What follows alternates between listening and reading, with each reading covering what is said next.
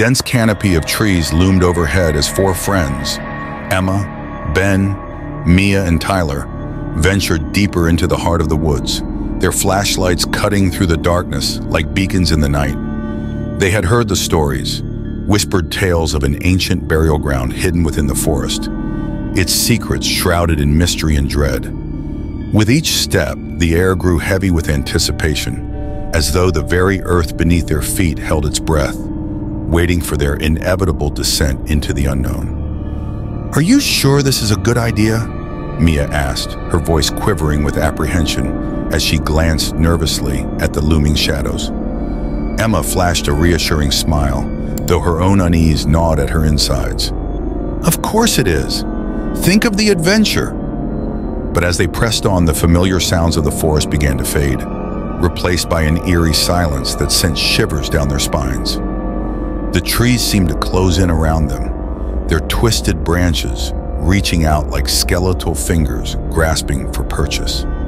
Suddenly, Tyler stopped dead in his tracks, his flashlight beam illuminating something buried beneath a thick layer of moss and foliage. With trembling hands, he brushed away the debris, revealing weathered stones adorned with strange symbols and markings. It's here, he whispered, his voice barely audible above the rustling of the leaves. As they gathered around the ancient burial ground, a sense of dread washed over them, for they realized they had stumbled upon something far more sinister than they could have ever imagined. But before they could comprehend the gravity of their discovery, a bone-chilling howl pierced the night, echoing through the forest like a harbinger of doom. Their blood running cold, the group exchanged fearful glances, knowing that they were not alone in the darkness.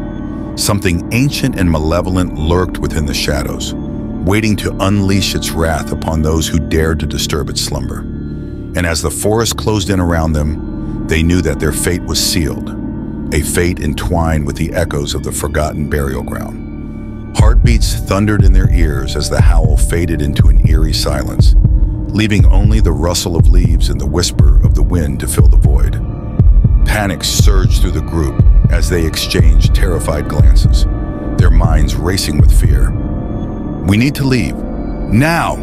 Ben's voice trembled with urgency as he took a step back from the unearthly sight before them. But as they turned to flee, a bone-chilling wail echoed through the forest, freezing them in their tracks. Dread washed over them like a tidal wave as they realized the truth they were trapped, ensnared in a web of darkness spun by forces beyond their comprehension. With nowhere to run and nowhere to hide, they stood rooted to the spot, their senses heightened to the slightest whisper of movement in the shadows.